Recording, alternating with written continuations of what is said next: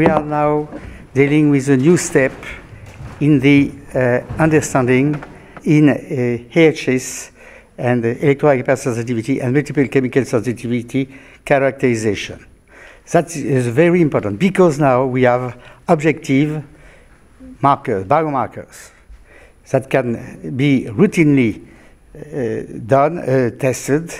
Since the last four years, I personally examined clinically and investigated biologically 1,216 patients which were referred as uh, who were referred as so-called electrohypersensitivity.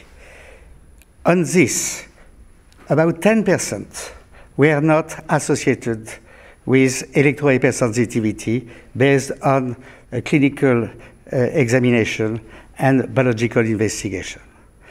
However, 90% of the uh, people were truly electrohypersensitive patients. Why? Because we had three clinical criteria that uh, I will report, and because we had biological abnormalities in the blood and in the urine of these patients. These are really a very important step now. We have sufficient knowledge to say that there are real health problems dealing with uh, electrohypersensitivity and multiple uh, chemical sensitivity, so that we have to uh, to make some scientific pressure uh, toward WHO and other international institutions uh, for recognizing this type of disorders. So, uh, what do you think about the, the present situation?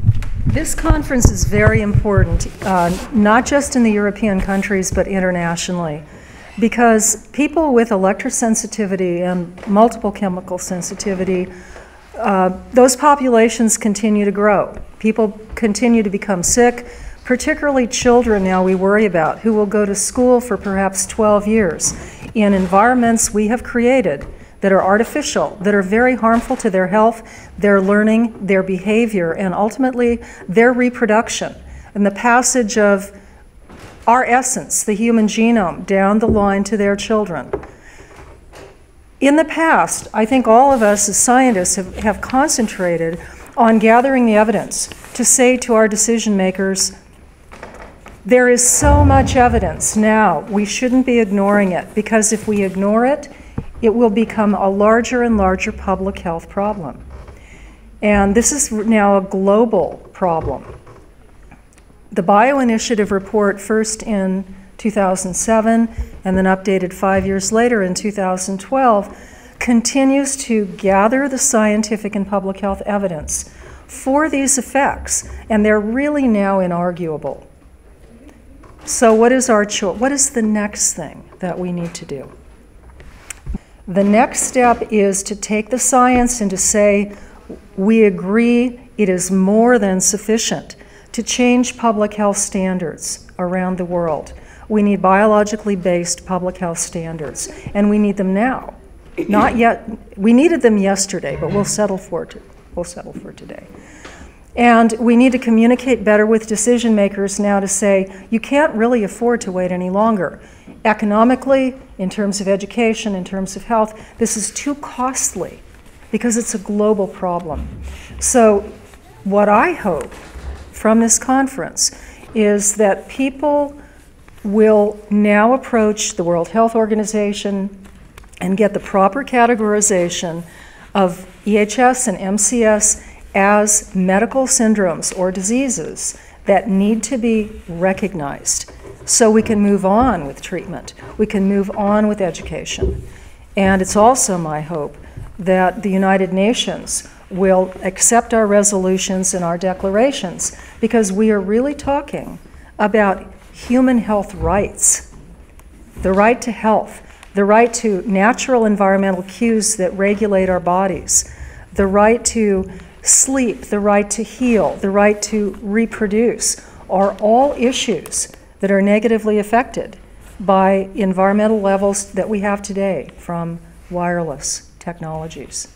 So, my hope is that this group of scientists and public health experts will move forward hand in hand with good communicators um, and advocacy groups to talk with decision makers and to move very, very rapidly for improvements in public health standards. Well, I, I agree with everything that Cindy just said. And I think I'd like to expand a little bit on what I see as one of the critical issues, and that is the use of Wi-Fi classrooms in schools. When you have a router and a classroom with 10 or 20 children on wireless laptops, you have a, a situation where there is an enormous level of radio frequency radiation in that room. Now, we know from the studies of people that have become electrosensitive that often there is an initiating exposure, a high level of exposure, that triggers the development of the electrohypersensitivity syndrome and it appears that in almost all circumstances, once a person becomes electrosensitive, that continues for life. They may not be ill if they're not around the electromagnetic fields, but when they become close to the electromagnetic fields, they become ill. And the illness is reflected as headaches, fatigue, mental dullness, irritability, and a, a general reduction of ability to function. So not only are children more vulnerable to every environmental exposure, but if we allow our children in schools where they're supposed to be learning to be exposed to an agent that reduces their ability to pay attention and to learn and promotes illness, this is a tragedy, it's foolish, and we should act right there to reduce exposure. Exposure comes from other sources as well, but that is perhaps the most obvious step that we could take immediately.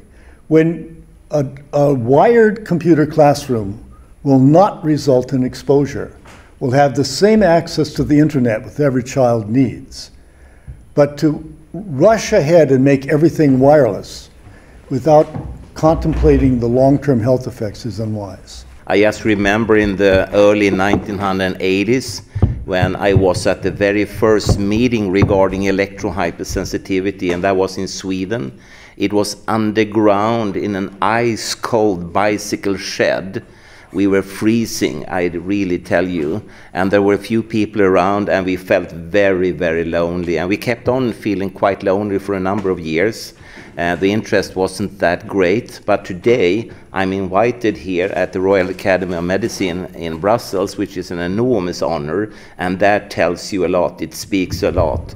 And since I'm from the Karolinska Institute, if I could, I would give all these guys here a collective Nobel Prize because they have done wonders, I must say, you know, and they are working for mankind, and that is the first sentence in Alfred Nobel's testimony. Uh, so that what he pressed on that people should work for the benefit of mankind, and these people have really done that. Thank you. It's almost to uh, to open the already open doors, to reinforce the necessary necessity to to, I would say, to ban the wireless uh, internet communications in schools. I see this as the rising big problem for human health. Authorities say, say that the exposure is within the ICNIRP guidelines, and we know that the ICNIRP guidelines do not take care of long-term effects or uh, of um, non-thermal effects. That's to say, the effects we can see which are not depending on, on tissue heating. I think uh, we need quite a lot of education of the society. What is this about? We need to educate the medical profession because doctors and other working in the medical profession are mostly unaware of these health problems and think that um, the exposure is not, no, not a problem. I would also say that, um, which has been clearly shown this morning that electrohypersensitivity is there as a medical diagnosis.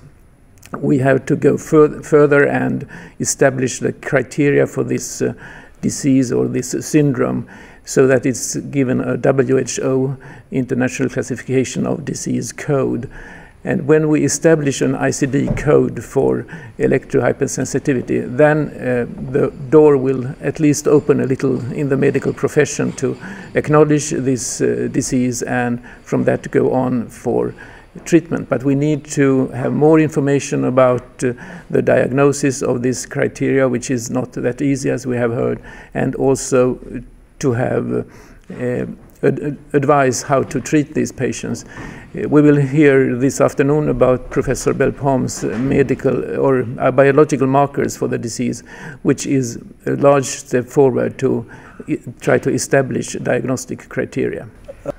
I think one, one point about the uh, bioelectromagnetics community is that that's dominated by engineers and physicists, not by health professionals. And the engineering community uh, is really the community that developed the thermal standard to start with. So uh, they're not the people that have expertise appropriate for identifying uh, human health effects. So there are actually three issues uh, the cancers, the reproductive problems, and the symptoms of electrical hypersensitivity that are all influenced by our exposure to electromagnetic fields. And there's plenty of science to document that both at the low frequencies and at the radio frequencies. And I think most of the people here want to prevent that from happening. They want to prevent people from becoming ill. Their quality of life diminishes so much. Um, and so, if we can protect children to begin with uh, and improve everyone's uh, standard of, of health care, uh, I think this is what we're all aiming for. The comment is about uh, the IARC decision in uh, 2011 uh, to classify radio frequencies as a, a possible human carcinogen group 2B and um, based on brain tumor risk. And after that, uh, the evidence, I would say, has increased even, so we could say that it's probable human carcinogen, which some scientists around the world propagate for class 2A.